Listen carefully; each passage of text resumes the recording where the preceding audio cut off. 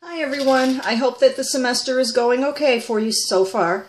This is a reminder for the undergraduate students who are taking Global Health Issues Nursing 418 that your first exam is this Friday, May 29th.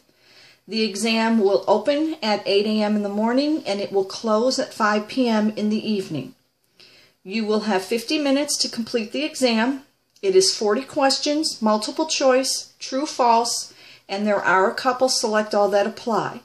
Now, please remember that this is not an open book, open note exam. You are to follow the honor code. If you have any technical difficulties during the exam, please email me or text me. You can find my cell phone number in the exam directions let me know who you are and what problem you're having so that I can look into it and reset the exam for you if necessary.